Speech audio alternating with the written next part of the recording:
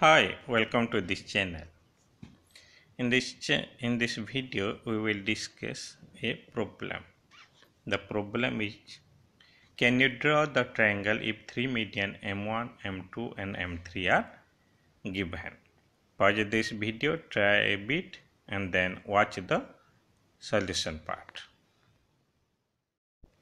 Draw a triangle XYC such that XY is two third of M1,